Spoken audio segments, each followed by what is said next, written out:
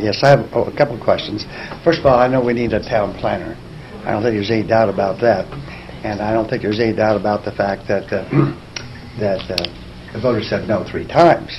So we have a huge conflict. And I know the RSA says you have the ability to hire, you know, the planning board has the ability to hire people. There's no de- debate there whatsoever.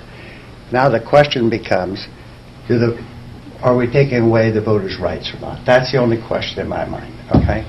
So following on with that, let's assume for one second that the voters prevail, the legislative body prevails, then my question for you is, why wouldn't you be able to b- borrow a professional from the RPC? Um, we've reached out to them. They don't have anybody available right now.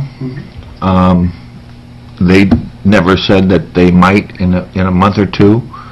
They just don't have anybody available. So, So maybe you could hire temporarily until the voters approve this activity. well, I guess if you want us to, to post a, um, help wanted ad for a temporary planner, so to speak, um, I'm not sure if, who, who would apply for that and who would want to do it on a temporary basis, because it's a, it's a profession.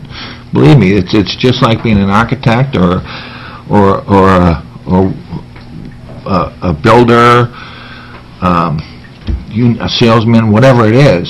It's, it's, it's a profession. It's not something that you just jump into and jump out of. So, a part-time one, if it came from the RPC, would be wonderful. However, they do not have the resources right now to help us. Okay, Thank you, and thank you for coming in, by the way. I think you've done, you have a lot of courage, and I appreciate that, and thank you for being so eloquent coming in. Well, thank you, today. sir. And you, and you and I served on a committee, if you, if you recall, a year or We so know how ago. pick on each other vigorously. Yes, we did.